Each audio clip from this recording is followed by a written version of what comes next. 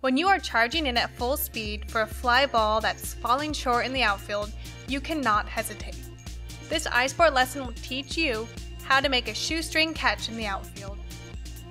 Shoestring catches are exactly what they sound like catches made right above your shoestrings.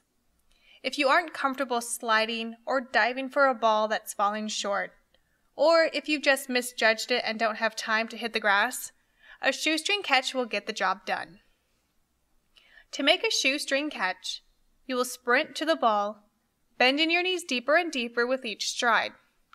Your glove will be lower than your waist and open to the ball as you approach it. When you finally get to the ball, you will bend your knees even deeper and catch the ball right above your shoestrings as you are running through it. You have to commit to these catches. You cannot hesitate. You'll need to keep your head down and stay low the entire time. If you stand up, lift your hips, or take your eyes off the ball, you'll likely miss it. Here's a quick drill to get you comfortable with making these types of catches. Start anywhere in the outfield a few feet away from your partner. Take two or three steps towards your partner. Your partner will toss you a short fly ball. You will walk quickly to the ball, lowering yourself with each step. Once you near the ball, bend your knees even more and make the catch right above your shoestrings. Make the catch with one hand and continue walking through it. When you are comfortable making the catch from a quick walk, try it at a jogging pace. Grab a partner and stand about 10 yards apart. Start jogging towards your partner, bending your knees deeper and deeper with each step.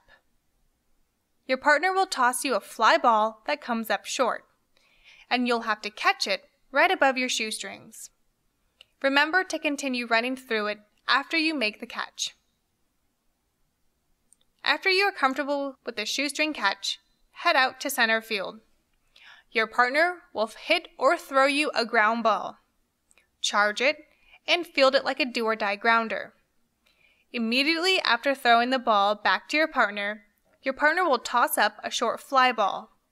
You need to sprint in and make a shoestring catch, and then continue sprinting forward. Whatever you do, stay low and run through it. Let's review what we've just learned about the shoestring catch. Always sprint to the ball and never hesitate. With each step, get lower and lower by bending your knees. Make the catch above your shoestrings.